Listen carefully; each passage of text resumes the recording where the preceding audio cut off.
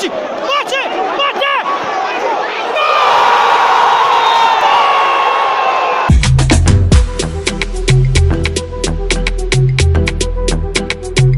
Salve peixeiros com orgulho, bem-vindos a mais um vlog do canal SFC Raiz. Este é o de Santos e Curitiba, uma vaga para as oitavas de final da Copa do Brasil, jogo de volta.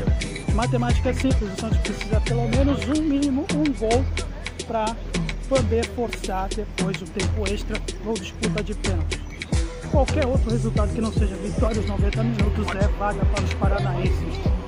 Michael e Ângelo estão, não vão jogar. Bustos foi expulso na outra partida, então ele vai ficar no banco de reserva, vai estar o auxiliar técnico deles. Agora é promessa de bom público e esquecer o fator, por enquanto, da arbitragem. Tomara que não tenhamos influências negativas novamente. Ele já sofreu muito sobre isso. Esquecer aquele lance do Maxson no jogo anterior e demonstrar que a equipe evoluiu nas últimas duas partidas contra o de Quito e também contra o Cuiabá, um grande jogo na Vila Belmiro domingo passado.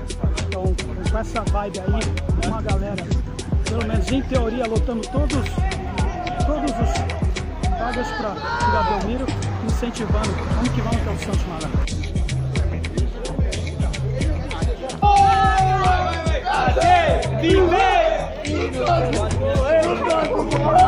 Nem sabia se hoje conseguiria ingresso, mesmo sendo sócio, mas mesmo com o cambista conseguir. Vamos que vamos.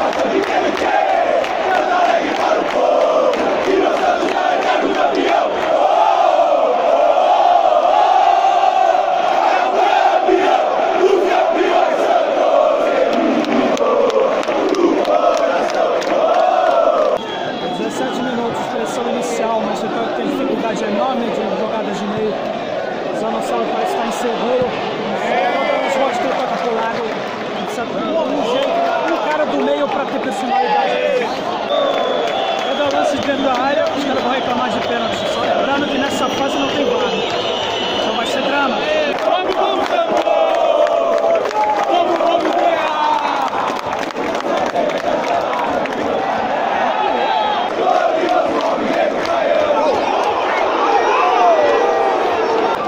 Guarda, guarda que isso. A verdade é que apesar de todo o ímpeto, toda a pressão, tudo lá contra o Júlio, precisam se mexer mais, não estão dando opção. Eles estão fechando muito bem no meio, eles estão apenas jogar pelas laterais, especialmente pelo Não está totalmente estourando ainda, não está ainda dando arrancada. A gente fica com essa opção limitada no meio.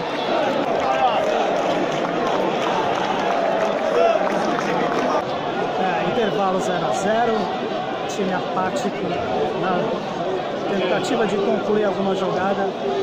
Verdade que todo mundo deveria esperar alguma coisa do Max. A meu ver, tá sentindo alguma coisa, não é normal. Toda bola que ele toca para trás, tá jogando, parece um sacrifício. Isso fica limitando nossos recursos, segundo só no Lucas Lima, Lucas Pires. Falta aquela personalidade de alguém no meio. Eles estão muito bem fechados no meio. Isso acaba reduzindo a nossa chance. Ser mais agressivos, principalmente os avançados, que agora. Aquela pegada de decisão da parte dele também do Júlio, totalmente nulo no jogo. Uma vez bem perdido o Júlio também quando ele é acionado. Nada o Lucas Pires até sobrecarregado nesse ponto. O eu acho que eu não escalaria ele de início mas foi a opção do Bustos, embora não esteja no banco hoje. Eu teria começado com o Lucas Barbosa, ou até mesmo com o Lucas Braga. O Batistão, inclusive, está jogando descaracterizado, né? jogando puxado, voltando a jogar, puxando pelo lado direito, o que não é muito dele também. Isso limita a nossa chance. Desse jeito, a vaga é deles. A gente precisa ser bem mais agressivo agora no segundo tempo, senão, vamos que vamos.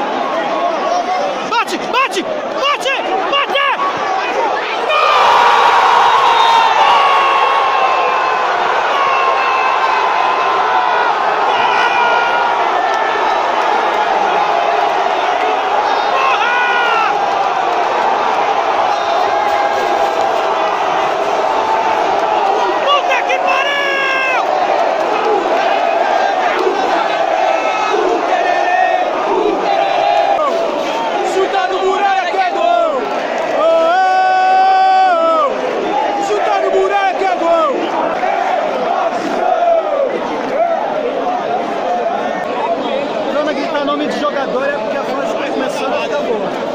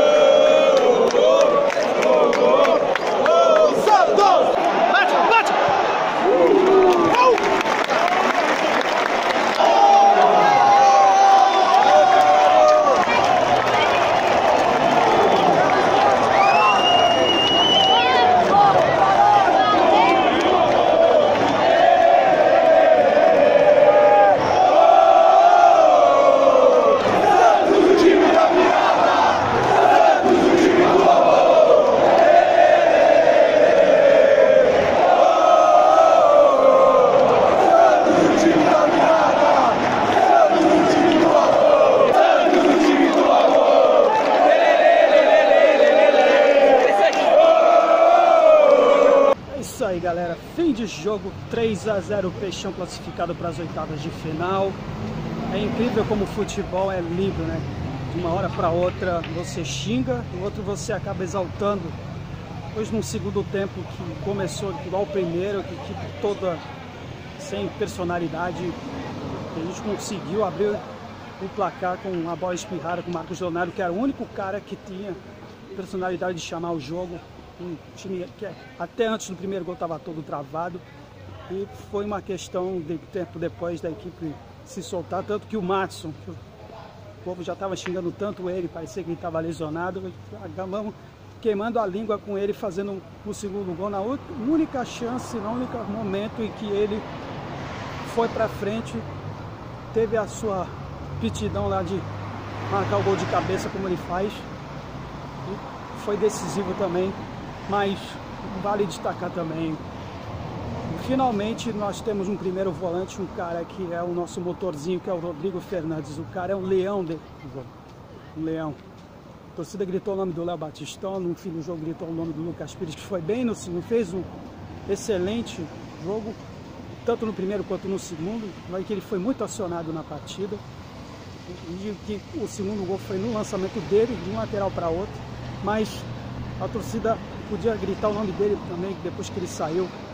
Marcelo Fernandes, que tomou o lugar do Bustos, né, que embora estava lá com o auxiliar, mas era o Marcelo que estava auxiliando o auxiliar do Bustos, né, para poupar, porque depois nos 3 a 0 começou a ter um tumulto, o time do Curitiba já estava pilhado com os gritos de olé, então até por uma questão de poupá-lo, tirou no Fernandes para colocar, se não me engano, não sei se foi, talvez foi o Sandri ou, o Camacho, dentro aí entrou para dar um apoio aí para garantir o resultado. É isso, né? faltou talvez aquele ímpeto certa conclusão de jogadas, mas a gente compensou, acho que na raça e na personalidade do time como um todo depois do segundo tempo. Daí influiu um gol do Fernandes, um golaço. Você vê aqui o vídeo que eu fiz de para ele chutar. Fez um golaço que deu números finais da partida. Olha, não é nada perfeito, mas a equipe se sobressaiu hoje através da, do senso coletivo. A equipe está fechada, está concentrada. Um ambiente muito legal de se ver, em que pese aí ainda há limitações no elenco, mas a equipe está começando a dar liga. É muito cedo para se afirmar, mas esse time merece todo o apoio da torcida pelo que fez no segundo tempo. Então é isso, galera. E agora, vamos esperar o próximo adversário, o próximo jogo pelo Brasileirão frente ao Goiás, onde a gente está fazendo uma boa campanha também, seguido também da Sul-Americana, que vamos ter dois jogos para decidir a nossa vaga aí para a próxima fase também. E é isso por enquanto. Se você gostou, deixe sua curtida, sugestões e críticas, estou sempre aberto e vamos que vamos. Santos sempre Santos, valeu, até a próxima.